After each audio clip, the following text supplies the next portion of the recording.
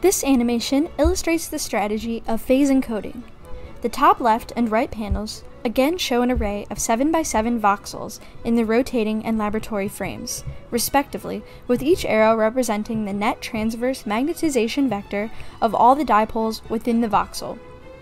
The bottom panel again shows a similar set of timelines. The top shows the RF power causing the initial 90 degree spin flip, the second shows the application of an externally impressed gradient along the y-axis.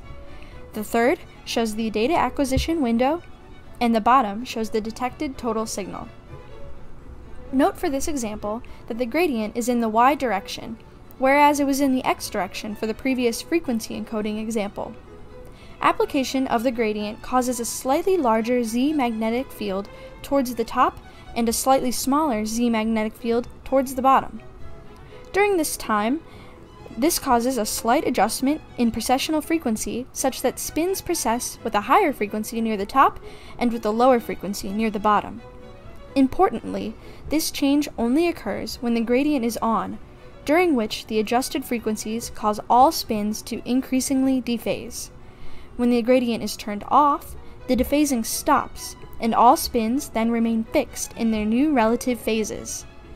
The amount of new phase is a known quantity with two important features. 1. All spins along a given row dephase the same amount. And 2. Each row has a unique amount of dephasing, the variation of which depends on the magnitude and duration of the impressed gradient. Thus, all spins along a row are labeled or phase encoded, all due to the impressed gradient that was momentarily applied.